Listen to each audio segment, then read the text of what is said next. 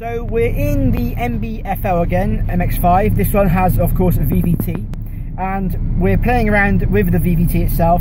Uh, it's closed loop VVT on this car uh, and on our ME221. And it's worth pointing out that all of our ECUs feature this algorithm. So if you fit a VVT head into a Mark 1, you can use one of the spare programmable outputs and drive the VVT solenoid with it, and you'll have full VVT control. So the point of VVT is to vary the intake cam in relation to the crank um, we won't get into the, into the, into the full theory of how it works with, uh, with, with, with, flow and so on.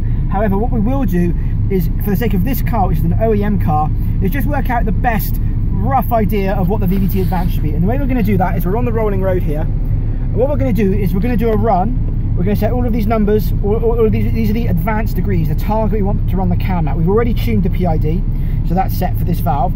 We're going to first of all do a run with them all set to 10 degrees. Now the cam's minimum on this engine is actually um, about 17, so we're, we're going to run there anyway at 10. So we're going to do a power run. Now the fueling of course will change uh, with respect to this because we are going to get a different flow, but as long as it's safe, uh, we're not going to worry too much about the fun optimization. This is purely an experiment to see what we can get in terms of power in the mid-range and so on. So let's do a run. And it's, it's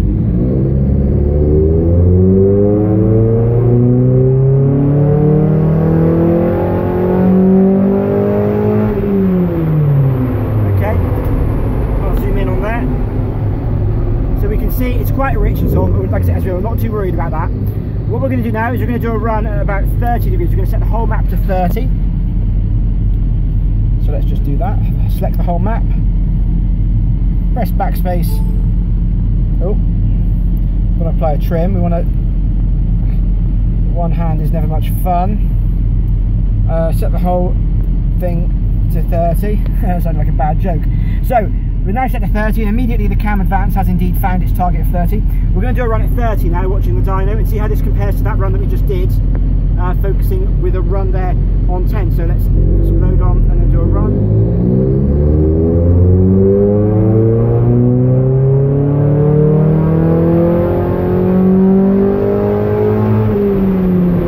So look at that. The mid-range has come straight up there?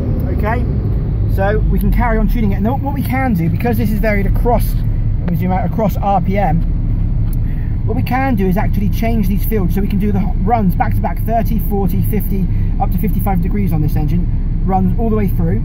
And what we can do then is look at the dyno and where the lines cross on the RPM chart there, where they actually cross, we can work out the points at which we should change the angles to get the best from the advance across the whole rev range. So for example, if at 30 degrees we have more torque at the bottom end, uh, less at the top, but at 50 degrees we have more torque at the at the at the top and less at the bottom, then we could work out which where the lines cross on the dyno plot, where they actually cross over, and at that point on our map here on RPM, change that point there. So we can actually tune the VVT to get the best from the engine.